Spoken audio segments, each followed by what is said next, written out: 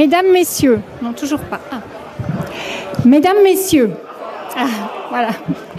Au nom des autorités provinciales, je vous souhaite la bienvenue et merci déjà pour votre patience. Cette année, à l'occasion du centième anniversaire des fêtes de Wallonie, Valentin, Célia et Elisa, de la classe de Madame Martine, à l'école communale de Meux, se font aujourd'hui porte-parole d'une action menée en ce début d'année scolaire par le service patrimoine culturel dans les écoles primaires de notre province. Entre les interventions officielles de messieurs Denis Maten, gouverneur de la province de Namur, Jean-Marc Van Espen, président du Collège provincial, et Éric Adam, président du Comité central de Wallonie, ils vont se succéder au micro avec leurs mots, vous exprimant en une phrase Je me sens namurois car. Je laisserai par ailleurs à M. Van Espen soin de vous exposer plus avant cette action originale dans son discours. Place à présent à l'hymne des cent ans, composé par Julien Jardon de Limep, sur des paroles de M. Denis Maten. Il s'intitule Terre de lumière.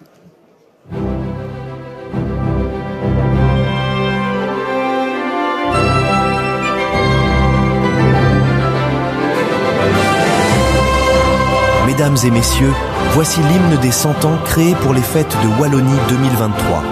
Une composition musicale de Julien Jardon, Institut Royal Supérieur de Musique et de Pédagogie, IMEP. Paroles écrites par Denis Maten, gouverneur de la province de Namur.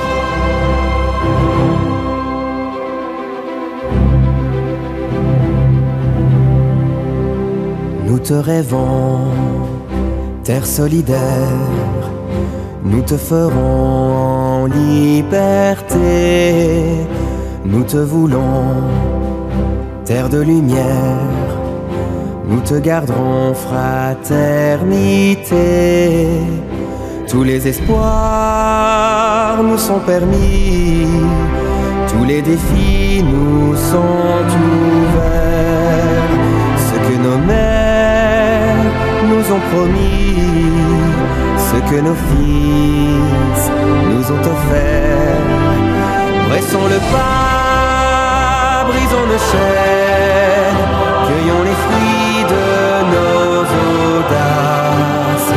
Pressons le pas, renions nos haines, des précurseurs suivons la trace. Nous protégerons tous les mystères. Nous t'ouvrirons de nouvelles voies vers l'horizon et à nos frères. Ouvrons nos cœurs, ouvrons nos bras. De chaque chute, relèvons-nous. Que nos échecs deviennent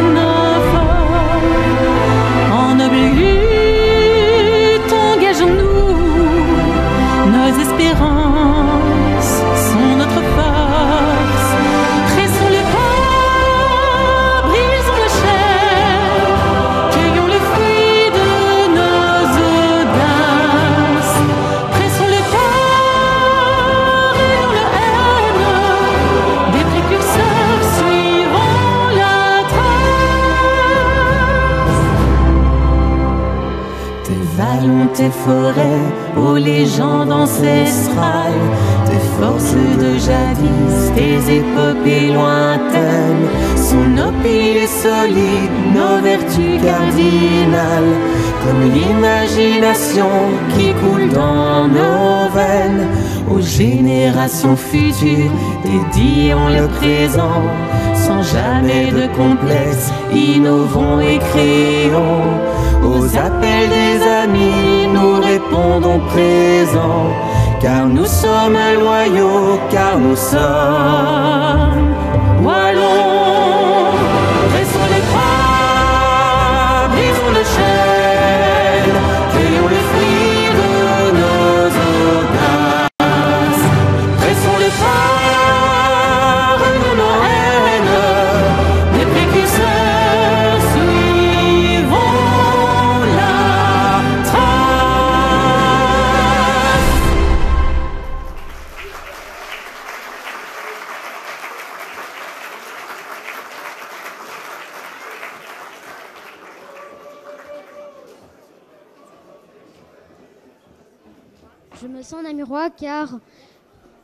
je me sens namurois car j'habite dans la province de Namur.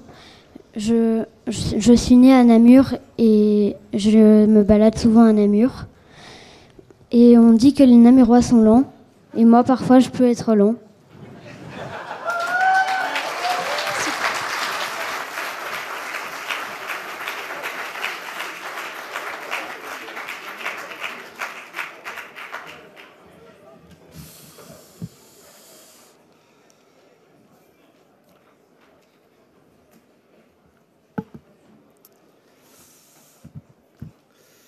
Chers amis, chers amis de la Wallonie, chers amis, chers amis d'ici, d'ailleurs et de partout, et quand je dis partout, eh bien, je fais un petit clin d'œil particulier à nos amis de la MRC Papineau, qui sont euh, nos invités euh, pour cette édition du centième. Bienvenue à vous, les amis.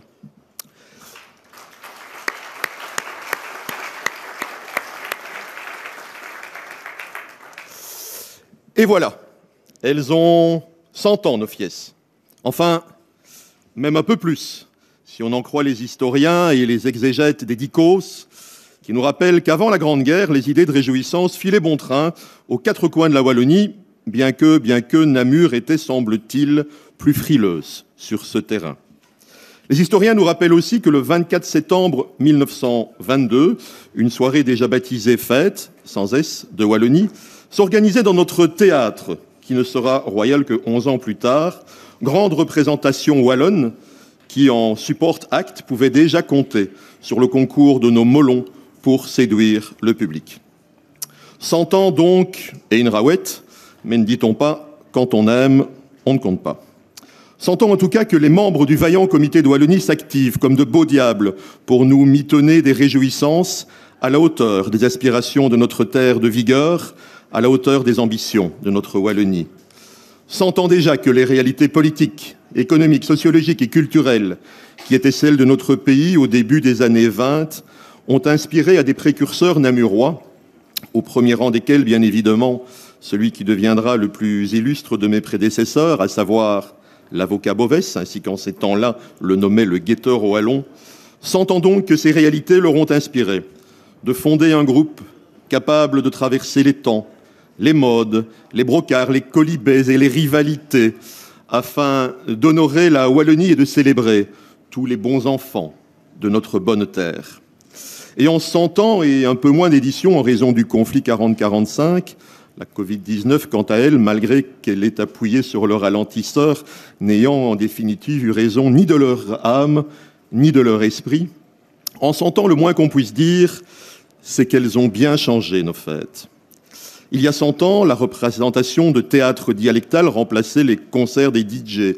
Le bal était le roi de la ville, les remises de cocarde aux capitaines de jeunesse fleurissaient dans tous les quartiers. Dans les cafés ou dans les rues, les réjouissances avaient pour nom jeux de fléchettes, de cartes, de la pomme de terre, de la cuillère, de sabots, des débrouillards, du citron, des oignons ou de la chandelle. Et j'en passe. Les courses de trottinettes et les tombolas amusaient les foules, les réceptions des jeunes mariés précédaient celles des couples fêtant leur noces d'or. Et si les trottinettes sont de retour depuis quelques années et que depuis que la Walloniade, que les Walloniades ont repris du galon, le mat de cocagne et récupéré une turgescence qu'on avait un moment pensé perdue, la fête que nous faisons aujourd'hui ne ressemble plus tellement, avouons-le, à celle des origines.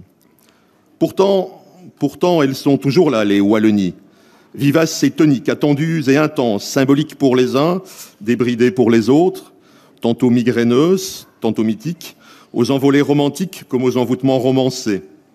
Elles sont toujours là, toutes ragaillardies par le double jubilé de l'équipe rajeunie, de tous les saussons, portant beau à leur cou le cocardi, et qui depuis quelques années se sont métamorphosés en géopolyvalents, qui suivent avec une, une dévotion émouvante les traces de leur fondateur. Paraît même que pour l'occasion, ils les ont dotés d'un hymne du centenaire. Elles sont toujours là, celles que pour faire plus in, on a un jour dénommé les Wallows, et qui depuis belle lurette bécotent à qui mieux mieux les beaux et nobles restes de la tradition, tout en ayant de temps en temps leurs yeux posés langoureusement sur les charmes du merchandising, sur les mirages du gigantisme, sur les promesses de l'audimat, sur les dangers de l'instrumentalisation. Mais aussi en, parallèle, laissant voguer leur conscience et leur besoin de fidélité aux visées des créateurs vers les vertus rassurantes et libératrices du repentir. Remontés résolument il y a plusieurs années déjà vers leurs sources, repartis avec enthousiasme vers leurs origines, elles tentent à présent de relever le gant de la modernité. Et le défi est de taille, car le contexte a changé. L'affirmation wallonne n'est plus exposée à des dangers semblables à ceux qu'on entrevoyait au début du XXe siècle, quoique. Les échéances électorales de 2024 semblent déjà réagiter certains épouvantails, bien sûr d'un autre genre, mais d'une indéniable parenté. Face à une telle situation, réaffirmer nos valeurs, nos convictions, nos espérances, nos ambitions, nos atouts, nos aspirations démocratiques, nos exclusives aussi, redevient d'une criante modernité. Dès lors, soyons-en bien conscients, nos wallos sont résolument modernes, intrinsèquement, et les quelques retouches organisationnelles dont elles font régulièrement l'objet lui donnent certes un plus beau teint, mais ce ne sont pas elles qui la projettent dans l'avenir.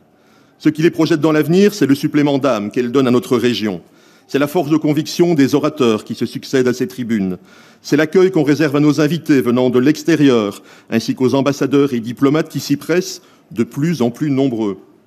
C'est l'image que nous renvoyons de notre dynamisme, de notre confiance en notre potentiel, en nos entreprises, en nos artistes, en nos créateurs. Ce sont les opportunités que représente le choix d'un invité d'honneur et c'est ma conviction, l'importance dès l'année prochaine de renouer avec cette tradition. C'est la place qu'on donne aux expressions rafraîchissantes de la jeunesse et de toutes celles et tous ceux pour qui l'innovation est une seconde nature. C'est en outre la volonté de profiter d'une fenêtre opportune pour affirmer dans tous les domaines, et pas seulement dans celui du folklore, le statut et donc le rôle moteur de Namur Capital. C'est enfin, bien entendu, continuer de faire la fête un peu pour nous-mêmes, mais beaucoup, voire surtout pour la fête elle-même et pour ce qu'elle représente, à savoir la libération des énergies, la célébration des convergences de vues et des solidarités, le souci de l'authentique et le décuplement des vigilances, la galvanisation des sincérités, l'ouverture des chakras, l'affranchissement des inhibitions, le partage de l'émotion ou la recherche dans une dynamique collective, rassembleuse, de l'improbable point d'équilibre quelque part entre humilité et fierté. Mesdames et messieurs, ce centième est sans doute un tournant, et nous ne saurons que dans les années qui viennent si nous l'avons négocié ensemble avec succès et que notre tenue de route fut impeccable, ou si, le nez dans le guidon que nous étions, nous ne nous sommes malheureusement pas rendus compte que, bardaf, cette année du centenaire, ce fut l'année de l'embardé. Ponctuellement défaitiste, je le confesse, je suis globalement optimiste.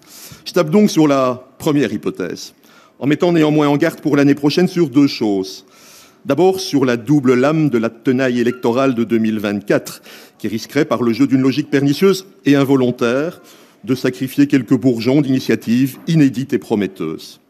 Et ensuite, je l'ai déjà évoqué, sur le risque de la perte du goût de l'accueil, qui, mélangé à de sombres arguties financières, gommerait de notre checklist la préoccupation de nous assurer de la présence d'un invité d'honneur. Un invité d'honneur, ce n'est pas uniquement l'espoir de se faire de nouveaux camarades de ribot. C'est d'abord une extraordinaire possibilité de nouer de nouvelles relations et de nouvelles collaborations dans de multiples domaines, de rassurer des peuples qui sont dans le doute, de dire à d'autres que nous tenons à ce qu'ils restent à nos côtés. C'est l'occasion de sceller de nouvelles amitiés, de tirer un trait sur d'anciennes rancœurs, de bâtir de nouveaux ponts ou de consolider la structure de ceux que nous n'empruntions plus que très occasionnellement. À vous toutes et tous du CCOE, membres passés, présents et à venir, je vous dis donc à la fois merci. Merci d'avoir tenu 100 ans. Merci et courage pour encore tenir au moins un siècle de plus. Avec les présidents de quartier, vous savez mieux que quiconque que le coq que vous arborez fièrement à l'encolure n'est pas un sésame pour les cocktails et les walking dinners, et que s'il est signe de ralliement, il est avant tout une promesse de pain sur la planche et de sueur sur le front. Car c'est l'alchimie de votre action soutenue et inventive, combinée à celle des quartiers et le soutien, bien entendu, des pouvoirs publics, qui ouvrira à Namur la porte de la pérennisation de fêtes de Wallonie, oscillant sans cesse entre respect de l'héritage et idées audacieuses, entre attachement aux racines et tentation de l'originalité. Mesdames et messieurs, l'arbre est tombé. Il s'est écrasé de toute sa hauteur avec les rêves de poètes et les chansons d'oiseaux qui peuplaient son front. Mais dans la forêt ténébreuse, c'est un trou de lumière, c'est un morceau de ciel qui éclaire les chemins à suivre. C'est ainsi qu'en 1952, huit ans environ après son assassinat, son ancien chef de cabinet, Robert Higuet, rendait hommage à François Bovès. Ils sont peu nombreux encore, aujourd'hui, à l'avoir connu et à avoir compté au nombre de ses intimes. Le fils de Robert Higuet, François Higuet, est de ceux-là. Je sais qu'il aurait aimé être des nôtres ce midi. Mais mon message de fin, qui sera pour le CCOE, sera dès lors d'une infinie simplicité. Votre engagement au service des fêtes de Wallonie va bien au-delà du serment qu'ont jadis prêté vos prédécesseurs de rester fidèles aux traditions. Il est pour vous le beau devoir, au travers du souvenir de votre fondateur, de saluer toutes celles et ceux, où qu'ils se trouvent aujourd'hui, qui ont un jour croisé son chemin, qui l'ont accompagné, qui l'ont conseillé, qui l'ont aidé, qui sans doute l'ont réconforté, l'ont encouragé dans l'adversité et peut-être aussi l'ont consolé.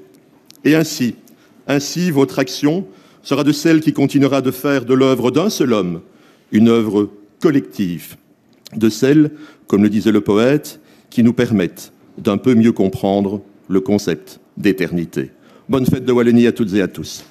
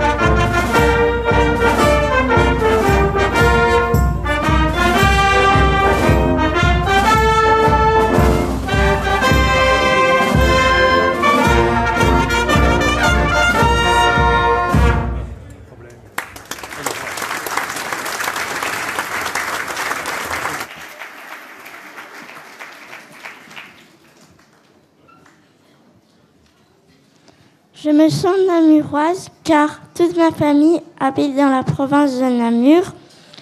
J'aime me promener à la citadelle pour découvrir la vue et en ville pour les monuments.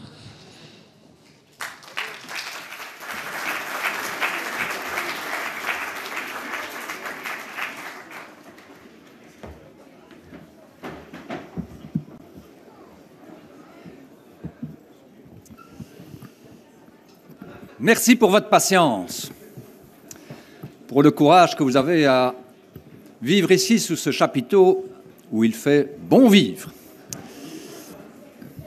Voilà. Chaque année, en fait, je suis très heureux de vous retrouver. Mais cette année, cette année est une année particulière puisque nous fêtons un anniversaire, et pas n'importe quel anniversaire, le centième anniversaire du comité central de Wallonie et de ses fêtes. Aussi, je souhaiterais s'il accepte d'inviter le neuvième président, Éric Adam, neuvième président du comité central, si tu veux bien venir près de moi, puisque un anniversaire ne se fait pas sans cadeau. Voilà.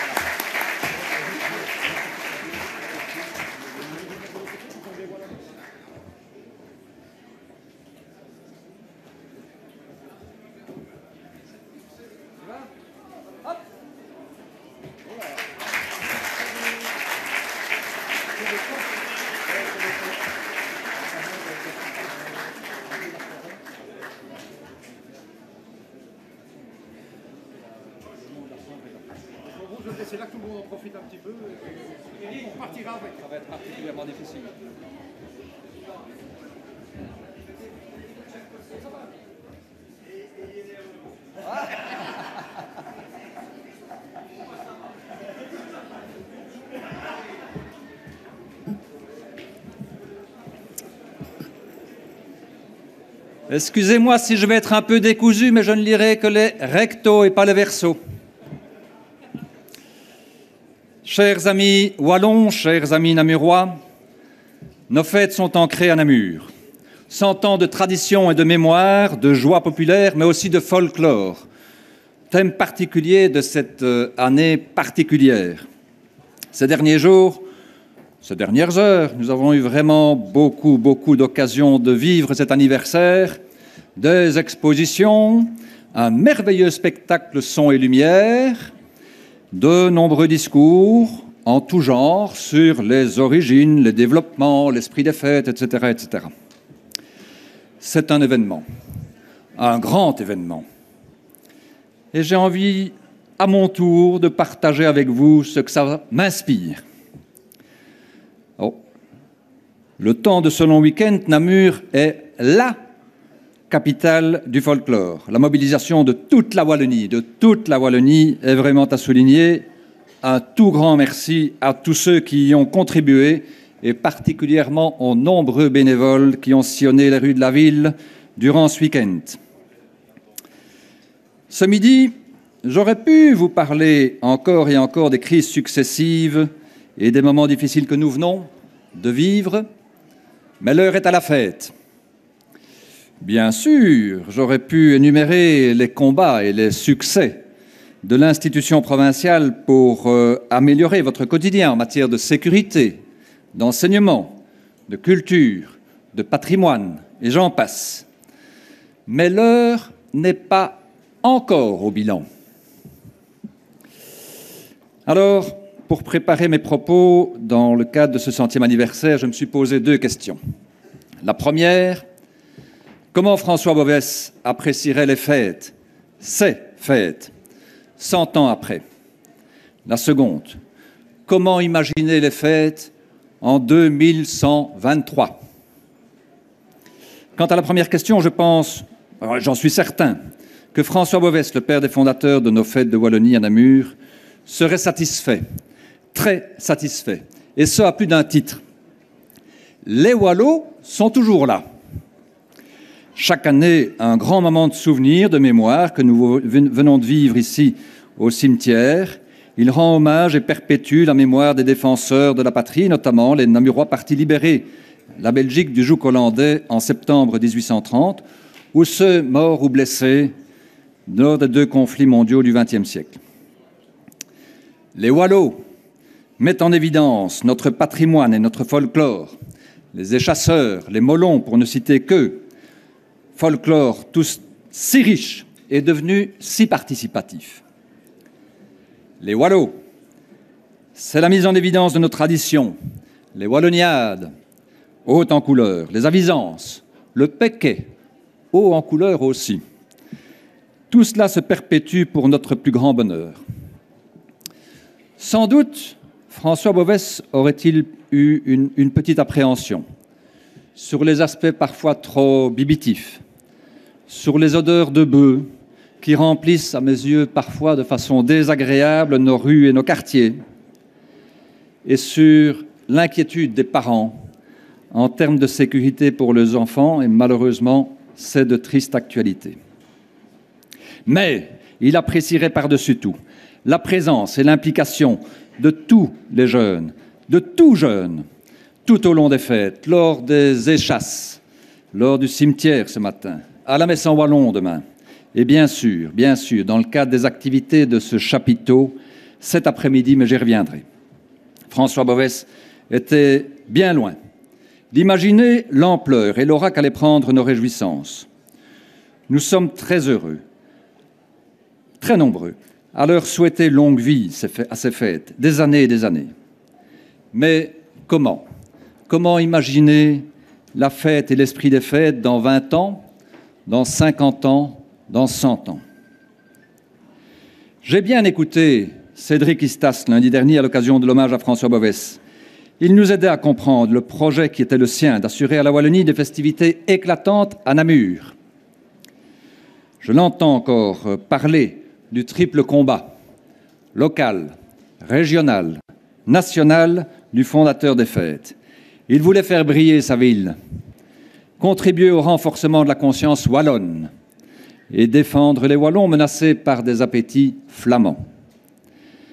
Aujourd'hui, quelles aspirations avons-nous pour nos fêtes dans le futur? Voulons-nous continuer à construire et à affirmer l'identité wallonne? Oui, je le pense. Par quels moyens, me demanderez-vous? La Wallonie doit préparer son avenir. La Wallonie, ce n'est pas ce que la Flandre décide pour nous.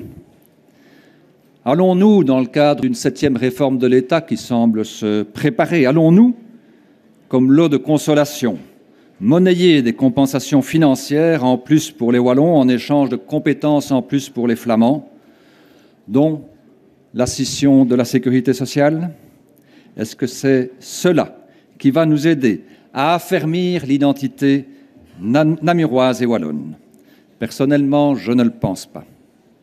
Par contre, rassembler, rassembler tous les folklores wallons, riches dans leur diversité, rassembler tous les cœurs culturels qui battent dans chaque wallon, les coordonner ici, à Namur, chaque année, au moment des fêtes de Wallonie, comme l'a si bien fait cette année le comité central de Wallonie, voici une idée qui peut aider à affermir l'identité wallonne, avoir une identité forte, contribuer à être fier d'être citoyen wallon, relever ses manches pour développer notre territoire, rendre l'envie de poursuivre des causes nobles, l'accueil, le courage, la solidarité, la résilience, des valeurs qui collent à notre peau. Quand j'observe euh, l'énergie incroyable mise par ces milliers de bénévoles de toute, la de toute la Wallonie pour promouvoir leur folklore, j'ai foi dans ce projet. Ce qui fait et fera la Wallonie, c'est bien sûr vous, c'est peut-être nous les politiques, mais c'est surtout les jeunes. Nos enfants nous garantissent notre avenir. Et à ce propos, la province de Namur a souhaité mettre les jeunes au centre de son action à l'occasion de cet anniversaire. Pour ce faire, notre service du patrimoine culturel a réfléchi à une action spécifique autour de la thématique de l'identité, de l'appartenance à la culture et au territoire. Concrètement, ce sont des élèves de 5 et 6e primaire qui ont été invités à une animation philo sur l'identité le sentiment d'appartenance lié à une région, un territoire. Et ces quatre écoles de notre province qui ont été sélectionnées, les écoles de Belgrade, de Meux, d'Ans-sur-Lesse et de Moriamé. On a déjà eu l'occasion d'entendre deux d'entre eux. Les réflexions et les questionnements portaient sur c'est quoi être wallon? Pourquoi j'aime être wallon? Qu'est-ce que j'aime dans ma province? Dans un second temps, des animateurs des services provinciaux ont encadré les enfants pour créer des œuvres résultant de la réflexion menée dans l'atelier philo.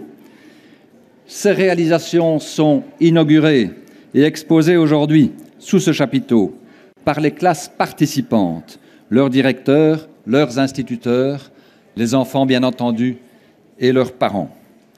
Nous vous invitons à l'occasion de cet apéritif durant l'après-midi, à venir découvrir ce travail merveilleux. En ce qui me concerne et en primeur, j'ai eu l'occasion d'admirer ces œuvres. Et je voudrais féliciter ces jeunes pour leur investissement et leur travail de conscientisation sur l'avenir de nos traditions. J'y ai senti les germes des Wallons de demain. Bravo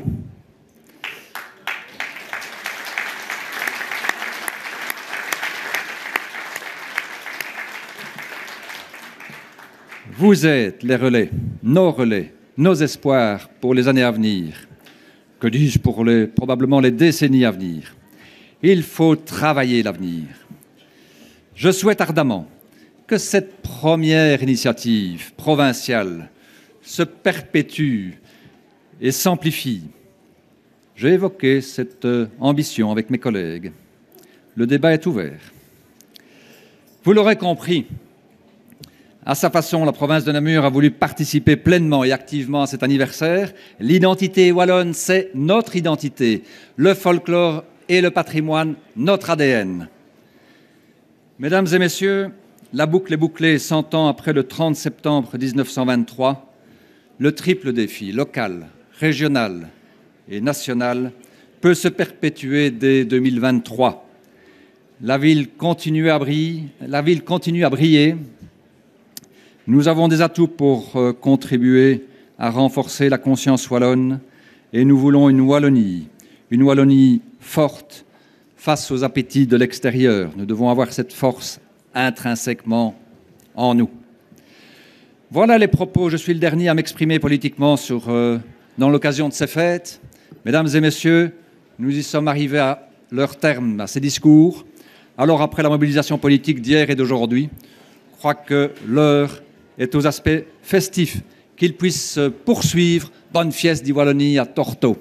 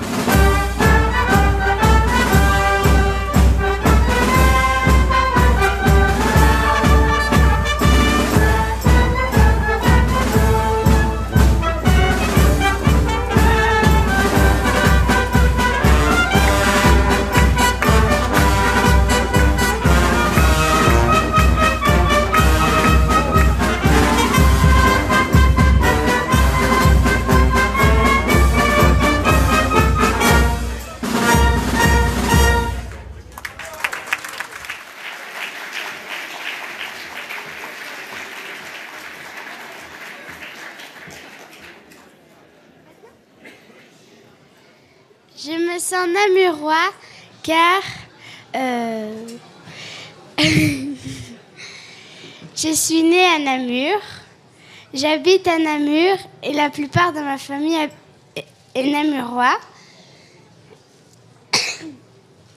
Et euh, j'aime bien la ville de Namur. Et quand je serai plus grande, j'irai à l'école à Namur.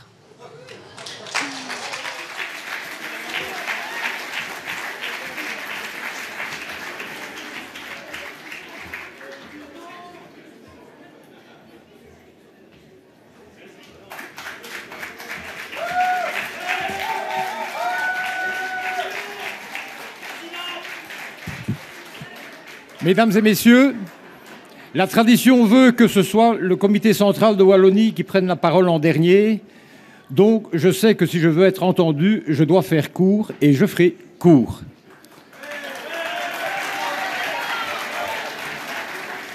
D'ailleurs, Monsieur Choiset, qui est le directeur de l'école hôtelière, sait que quand je commence à parler, il peut commencer à remplir les verres. Donc, dans quelques minutes, vous aurez l'occasion de déguster une bonne Wallo, une bière 100% namuroise.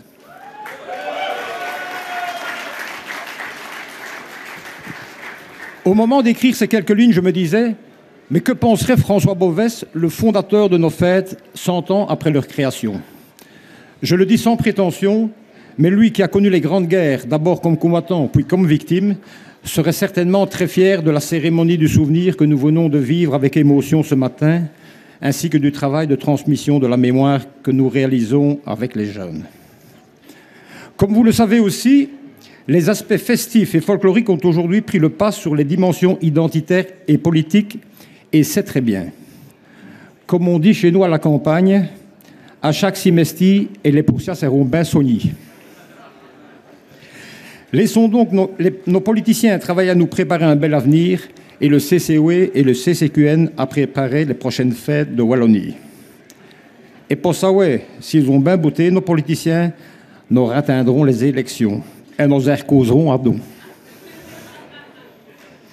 Depuis 1923, depuis un siècle, quelle évolution On a marché sur la Lune.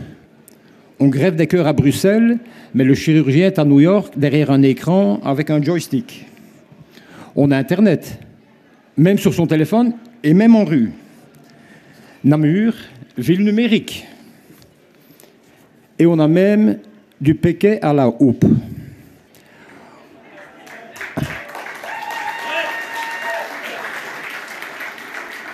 Qui s'est reuve tous barré et en miette des vœux en pareille affaire, c'est nos François Bovès. En affaire a fait des œufs comme des caracoles. En revanche, rien n'a changé au comité central de Wallonie depuis 100 ans. Nous avons entendu des bouts de porin. Plus sérieusement, la motivation, le dévouement et le dynamisme de mes petits coqs rouges, qui sont là quelque part, sont inaltérables. Mais ce dont je souhaiterais vous faire part, s'il y a bien une chose que vous devez retenir de ma prise parole d'aujourd'hui, tant au CCOE qu'au CCQN, sans exception, nous avons cette passion constante, cet amour incommensurable pour cette magnifique région qu'est notre chère Wallonie et pour sa capitale Namur. Maintenant, ceci étant dit, vous comprendrez mieux pourquoi notre slogan pour cette, édition anniversaire était Les Wallos dans le sang. Vive la Belgique, fier des Wallons, vive Namur Poto et bonne fiesta à Torto.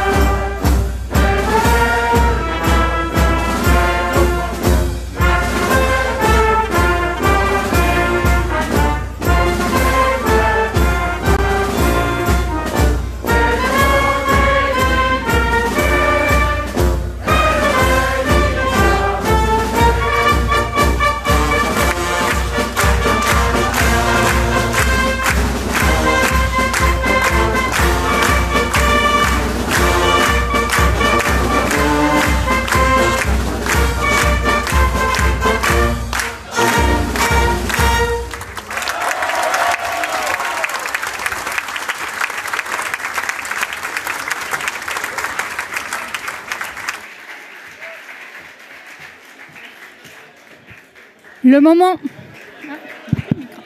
Est venu ben, de boire le verre de l'amitié et de remercier la fanfare de Melay qui, fidèle aux traditions, est avec nous chaque année pour les hymnes officiels. Merci à eux.